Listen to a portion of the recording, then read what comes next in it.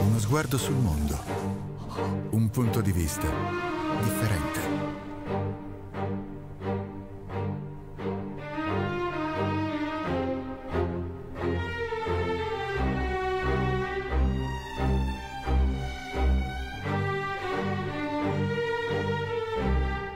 Ciclo Visioni d'autore.